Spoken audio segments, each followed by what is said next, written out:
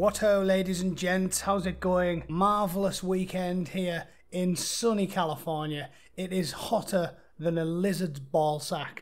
And welcome to your favourite weekly news roundup, the shite you see on the BBC. It has been a marvellous week of pure, unadulterated shit from the BBC this week. The belligerent bourgeois communist news group has been uh, hard at it this week to bring us all of the big issues, as long as those issues revolve entirely around the worries and concerns of middle class left wing assholes. Honestly, I had to cut it back, cut, I had to cut it down this week to what I normally do. Um, seriously, I could fucking talk for an hour. Like, it was just endless reams of puerile, Owen Jones style fucking digital diarrhea this week. You fucking, it was endless. I don't even, I swear to God, I don't look for it. I don't even try. Trust me, I don't do this for a full time job. I'm very lazy. I literally just pop, put the website up every morning, have a quick 10 minutes looking at the fucking homepage. It is never ending dross. It's got to the point where it feels like 19 year old semi literate activists write the entire website like a really, really bad student union group newspaper or something. Uh, it's endless. So I had to cut it down to what, three, six, seven stories just to get through it. Uh, I'll start at the top. Just listen to the words they use in this piece about Trump. And you tell me whether or not you think it's needlessly, despicably hyperbolic when it comes to slagging off Trump and, and adding pointless, extraneous details about slaves and shit, as if fucking Donald Trump invented the practice in 2016. Mount Rushmore, Trump denounces cancel culture at 4th of July event.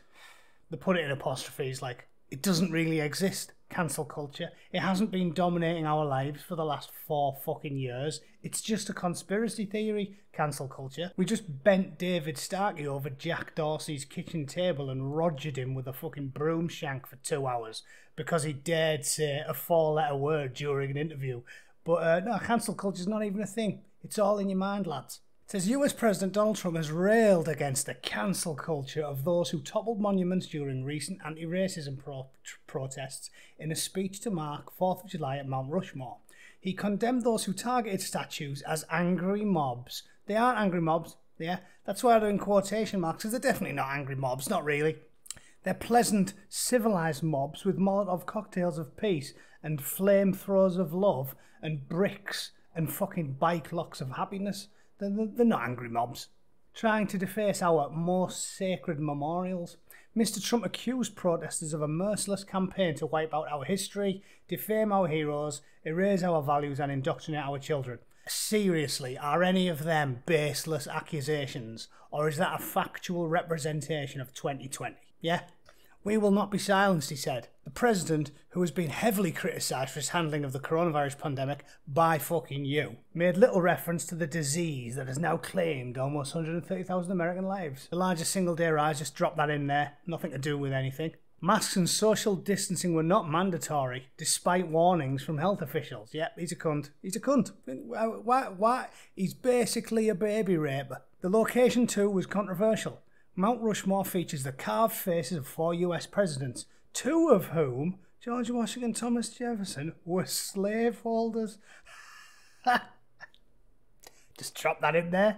Just stick that in there. One of them freedom. Why don't we put him in there? No, fuck him. We're not talking about that cunt. It also stands on land that was taken from the indigenous Lakota Sioux by the US government in the 1800s. What, honestly, what's what's that in there for? Just bring it up. Like George Washington and Thomas Jefferson should feel guilty because when they were being about their business, they should have been thinking, hmm, maybe middle class journalists on the BBC will take umbrage to the fact that I'm not acting like them in the 18th century. Yeah? They should have thought of that. The ignorant savages. Yeah, fair. Addressing Mount Rushmore himself, uh, addressing Mount Rushmore itself, the president said the South Dakota landmark will stand forever as an eternal tribute to our forefathers and to our freedom. The monument will never be desecrated. These heroes will never be defaced. Fucking brilliant. Yeah. So this was just, uh, again, I'll link all of them at the end for you to read of your own free will because I can't bring myself to go through the whole fucking thing. But look, the first five paragraphs there is just dripping with social justice buzzwords and fucking bollocks. Why they told us two of whom were slave owners, like that's controversial. No, like they can't they can't put anything in. If you're going to hold everyone to the standards of now, nobody from history is is good. They're all cunts, all of them, everyone. Captain Cook, cunt. Martin Luther King, ah, he was horrible, misogynist, cheated on his wife, womanizer, sleazy, fucking he's scum. Gandhi, cunt. Winston Churchill fought against the literal Nazis. Little fat arsehole. it's it's crazy. Charles Darwin, oh yeah, he once said that he didn't think Africans were as cultured as Europeans. Fucking vermin. Kill him. Dig him up. Kill him again. It's fucking madness. Reactionary, ridiculous madness. You don't need me to talk any more about that. That's fucking bullshit. They shouldn't have even put it in there. Moving on. Needless, venomous race baiting. White couple charged with assault over threats to black family. Look at the photo they've used, like she's a fucking serial killer. A white husband and wife have been charged after a woman pulled a gun on a black mother and her children during a confrontation in a car park. Fucking. It shows Jillian Wuestenberg pointing the gun and shouting, Get away! Local sheriff said it stemmed from a bump. The black family was not armed. The Wuestenbergs have been charged with felonious assault like, sort just writing it up like she's fucking evil. Whitey is a cunt. Black families are nice. Don't want to get into it. I'm not a race baiter. I don't think we should do this fucking shit. I think it's criminally irresponsible. That type of shit happens a hundred times a day in any state in America.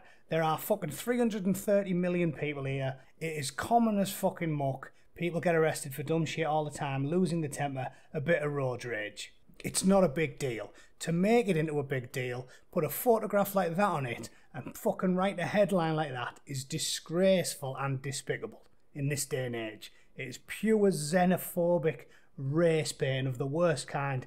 And the coup de grace, the cherry on top, is just watch the actual footage of it and tell me these people are pure evil, embarking on a racist hate crime for no reason, as the BBC would have you believe. Wants to violate a 15 year old. No, I'm asking a question. She's a She, child. she bumped into me when so I if was she did something wrong, she needs to apologize. If she did This something ignorant wrong, woman, she needs this ignorant woman If bumped into a 15 year old, apologize, Correct? And you're on camera. Okay. You're feeling threatened. Okay, well go in. No, mom. I She, got, I got. You're blocking me from getting No, in my girl, car. No, we weren't. No, we weren't. My God. no, we weren't. You're ignorant. Go ahead, call them. No, we will, but you're not gonna sit there and violate a 15 year old. She's ignorant. Do it, bitch. Do it. Go ahead. Do it. I want you to Call do the something. police. She's very ignorant. Dumbass bitch. Yeah, I said it. You say something, I'll beat your white ass. Yeah, oh, You- will. Do something. Please put your Do something. hands Do something. Please. Who the fuck do you think you guys are? who do you Who, who think do you you are? your wife think you are? You You- calling you her name? yeah, she did nothing to Yeah, you. I didn't. I didn't. ahead, Kayla. No, you didn't. You're very racist and ignorant. You're racist because you're calling No, you bumped it. She bumped into me. White people Why, racist. why would you bump into You her? cannot just Why walk would around you calling bump her? white Why people would you bump racist. her? This is not that Why type would of you world. bump her? White people Why are would racist. you bump her? No one's Why racist. would you bump her? I Why care did you about say you. sorry? I care Why about did you say sorry? and I'm sorry if you Why had did you say sorry? made If you someone bumped make into you her, feel why like did you that. say sorry? No one is racist. If you didn't do, do I'm anything, sorry would if you you do that? had something like that happen. Ignorant. Ignorant. Very. Ma, watch. Get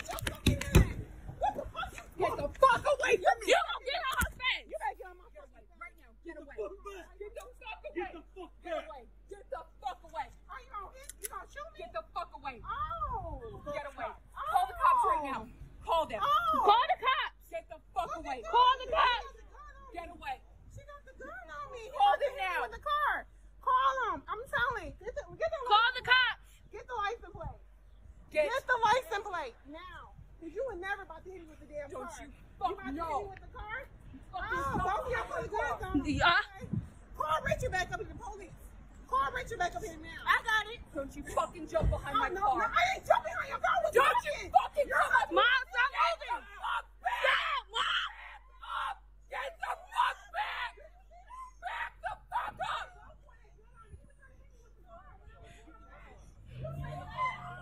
No, you can't fucking leave. Do you got all this on video? Yes. Call the police. No, no, no, no. Mom, stop walking. Hello, police. Call the police. Call the police. Call the police. You walking. That boy. What do you reckon? Look at the YouTube comments. They're charging the couple for a four year felony for what is obviously self defence. Finally, unedited video, unlike the scum that posted it on Twitter, justified.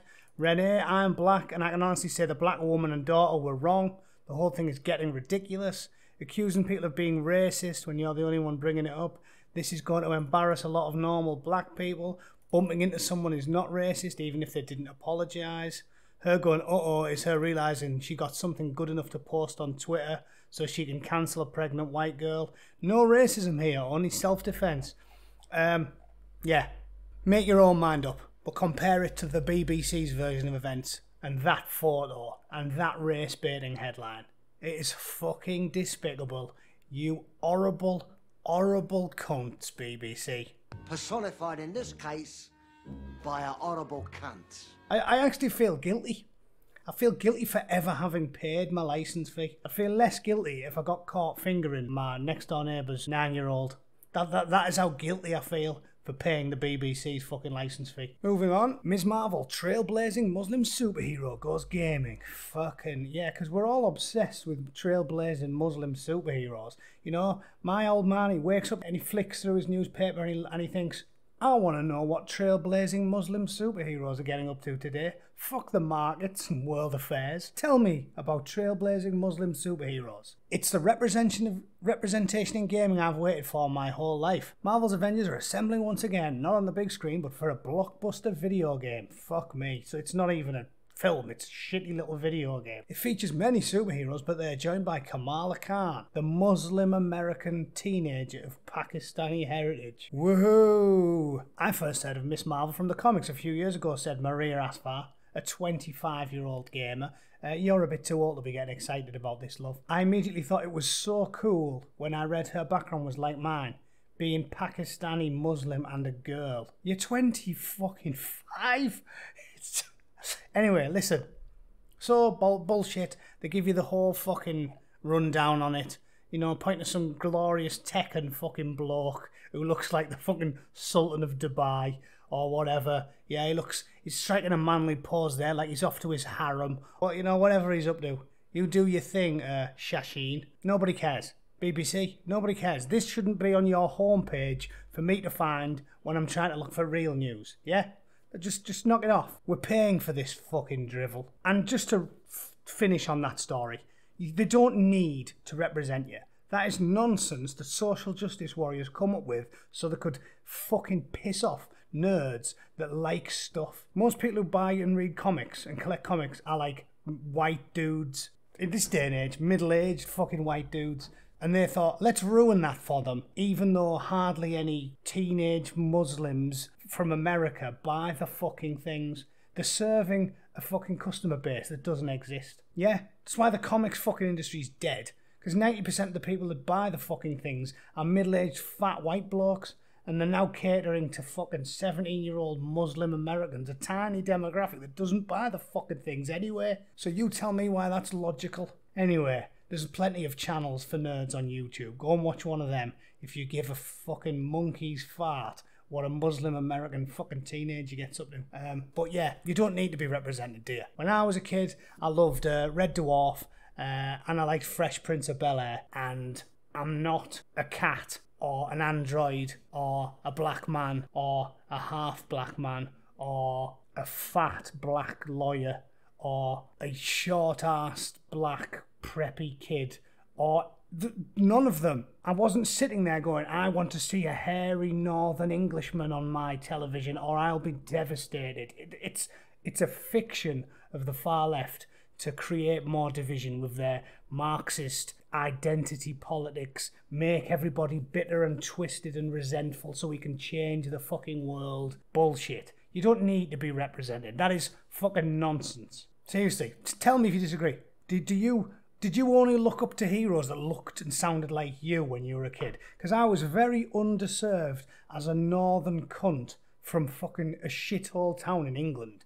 I had no heroes to look up to if they had to look and sound like me. So fuck off. Will Smith, yeah, he, he looks and sounds like me. More identity politics. I've been stared at in disbelief when I introduce myself. Have you?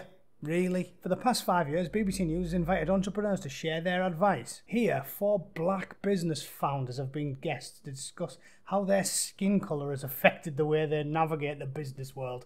Like anybody else navigates the business world, yeah? Oprah Winfrey didn't feel the need to talk about this all the time when she was building up a media empire. I don't see why Ojoma Idegwu has to go on about it in 2020. It wasn't really a thing in 1995. I don't know why it'd be a thing in 2020. Ojima said, it's a fashion label for plus size women. Fucking hell. Look at the clip of her. No wonder it's for plus size women. Because she'd need to stitch four fucking normal human sized dresses together to fit in the fucking thing. Is that a euphemism? She eventually took the plunge on starting her own business because she looks like a sea-born mammal. I must start off by saying how immensely proud I am of the colour of my skin. Get over it. We got over it in the 90s and the noughties. We were over it. You couldn't have made it a thing again. Being a black entrepreneur, means I have to work twice as hard. Really? I'm dealing with constant microaggressions, backhanded compliments from people. Just hatred, isn't it? Why didn't Ojoma Idegwu stay where people were weren't evil? I've been stared at in disbelief at business events. course you have, love. London, it's like 50% minorities now. So, not really minorities if you think about it. Diverse. London, less than 50% white British. And apparently she's been stared at in disbelief in fucking business meetings. Yeah? You believe that? She wouldn't have been stared at in disbelief at a business meeting in London in like 1950 because there was at least, you know, tens of thousands of them in the UK at that point. You expect me to believe that she's walking in in 2020 in London and people are going, fucking hell, it's a black. Shut up. Uh, in fact, no, I'm not even going to read the rest of them, but you can guess what it is. Same with Jamal, same with Gerard Manu, same with Kike Oniwinde. There are not enough black people ruling over you filthy, evil British people. the only thing about the whole, that whole fucking thing that I disbelieve is the fucking claims of the lunatics that they interviewed. Yeah. We didn't stare in disbelief at the two black kids in my year in school in like 1994. So, I, and this is in Middlesbrough in the northeast. I don't believe that black people are getting stared at in disbelief in London when there's more black people than fucking white people. Do you? This one's class. Look at the state of that. We're talking about COVID 19 and the Black Death. How the Black Death made the rich richer. Fuck me. Like, full blown peak communism as part of their COVID 19 fucking reporting. COVID 19 Why you should drown rich people in the bath. When a third of Europe's population was lost, wealth concentrated into tiny groups, could COVID 19 trigger something similar? Said the Black Death killed 80% of those who caught it. In Aberdeen, John of Fordun, a Scottish chronicler, recorded the sickness befell people everywhere, but especially the middling and lower classes, rarely the great. It generated such horror that children did not dare to visit their dying parents, nor parents their children, but fled for fear of contagion as if from leprosy or a serpent. These lines could almost have been written today. uh, could they? Could they? BBC? The sudden loss of at least a third of Europe's population didn't lead to an even redistribution of wealth for everyone. Instead, people responded to the devastation by keeping more money within the family. What the fuck's wrong with that? Again, speaking as a working class twat, what, what do you do? You expect perfect strangers to either give the money to you or give it to their own children? Like, what the fuck do they want from them? It didn't lead to an even redistribution of wealth for everyone. What should lead to an even redistribu- redistribution of wealth for everyone? Oh, yeah, hardcore communism at the point of a fucking gun. That's what you think should lead to redistribution of wealth for everyone. But normal humans, even those that are on the left and have a bit of disdain for greedy, mega rich corporations, even they probably don't think that any minor pandemic should lead to the even redistribution of wealth for everyone. So, what the fuck are you talking about? It's fucking ridiculous from start to finish. And look, the huge mobilisations of people and money which governments and corporations have deployed shows that big organisations can reshape themselves and the world extraordinarily rapidly if they wish. This gives real grounds for optimism concerning our collective capacity to re engineer energy production, transport, food systems, and much else. The Green New Deal, which many policymakers have been sponsoring, just uh, an excuse to slag off the rich for no good reason, advocate for murderous communism and the forcible redistribution of wealth, and finally talk up the Green New Deal, which they say, well, they basically make it out completely uncritically. It's fucking brilliant. If they really wanted to help the entire world, they would definitely institute the Green New Deal. And that's why many policymakers have been sponsoring it. What they don't say is that the ones that have been sponsoring it have got heads full of cow shit, and nobody with any fucking sense, from the Chancellor of the Exchequer down, thinks that anyone who isn't a fucking maniac should be enacting the Green New Deal. So fuck off, BBC, with your evil anti family headlines, and I will leave whatever paltry sum I have after my liver explodes and I collapse in a gutter. I'll be leaving my money to my family and friends. Thanks. You, keep your fucking mitts off my paltry possessions, redistributing them as you wish. You fucking communist cunts. Fucking unbelievable. Can you but can, despicable. Even the headline is despicable from the homepage. Oh, how the Black Death made the rich richer. Let's just wind people up during a pandemic. What a bunch of fucking shitheads. Moving on, Richard Madeley's sorry for misjudged domestic violence advice. Now he is wanting to cheer us up, something lighter. Obviously, there's nothing good about domestic violence, but this is funny just because of how much of a twat Richard Madeley is. He is a twat, and this is just a great way of displaying that he's got the common sense of a fucking flip flop. Richard Madeley has apologised after, after he was criticised for giving dangerous advice in a newspaper column. He was accused of downplaying a reader's fears that their neighbour might be suffering domestic violence. Writing in the Daily Telegraph, Madeley told the reader, if they were going to kill each other, they'd have done it by now. uh, he said he's very annoyed with himself for having misjudged his response. I think Richard Madeley should work at the call centre for the police, you know. Like, 999 emergency, police, hello. My next door neighbour, he's punching fuck out of his wife. I think he's going to kill her. Ah, he'd have killed her ages ago if he was going to do that. Uh, hello? Quality, we've found your calling in life, Richard. And finally, I don't want to bring up the stuff I've covered during the week. David Starkey, BLM bullshit, the Premier League. Why can't they leave this lie? They don't want to forget about it. This is only four days ago. They can't leave it alone. We've just had fucking angry mobs of 50,000 activists congregating in London. And they're like, oh, that's fine. It's fine. Now they still want to have a go at Dominic Cummings for having to drive. Are you fucking shitting me, lads? Are you? You are pulling my pisser, Andy Verity. Surely you are. A law student is hoping to bring private prosecution for the PM's top aide and has been told there is enough evidence for a realistic prospect of conviction. Oh, fucking, of course she has. Because our fucking courts are fucking bent as well, aren't they? The Supreme Court that Blair set up in the UK needs disbanding as well as the BBC because it's as bent as a fucking £8 note. Marsha Talifar from London sought formal advice from senior criminal barristers over his trips during lockdown.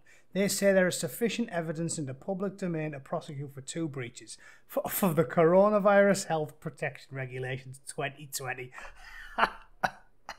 so we're not going to prosecute the 50,000 violent thugs that punched fuck out a policeman in the middle of the street during the coronavirus lockdown. I'm not going to prosecute them.